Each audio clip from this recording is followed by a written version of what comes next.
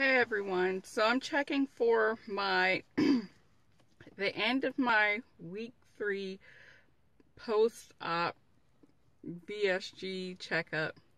Um, so just to recap, my highest weight, which was one week pre-op, I was up to 311. My surgery weight was 305 and at my weigh-in this morning I was at 284.2 so that means I'm down three pounds since my last check-in last Monday.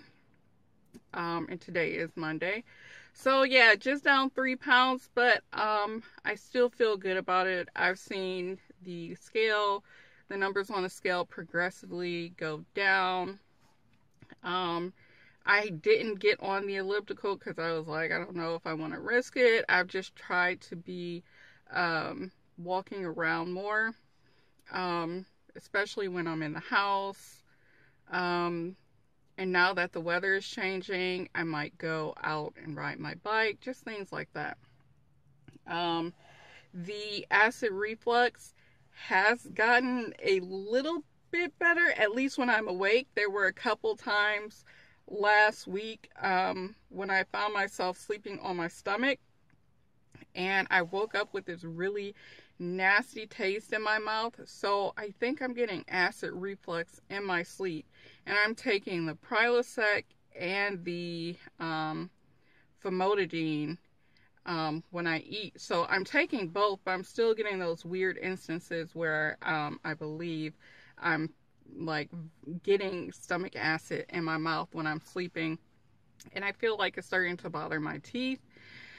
Um, so I don't really know what to do. I go back and see my doctor. Yeah, I go to my one month update on the 1st, April 1st. So I'll bring that up to them then.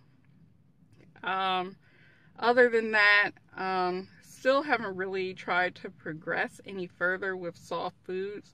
I've just been a little bit stricter with the kind of soft foods I eat um, since some things still don't go down really well. And I think that's about it. Um, my recovery is still going well.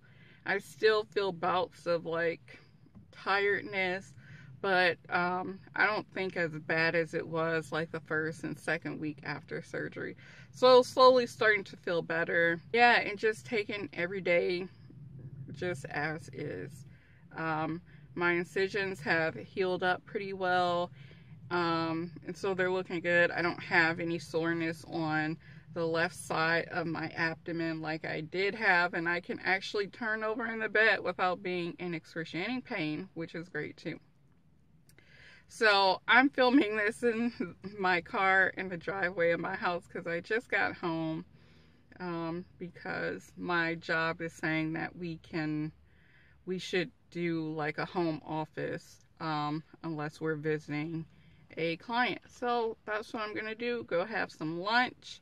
I don't know what I'm going to eat yet, if I'm going to have a soup or what, but I'll figure it out. And anyway, I hope you guys are staying safe out there and that your VSG, your post-op recovery is going well.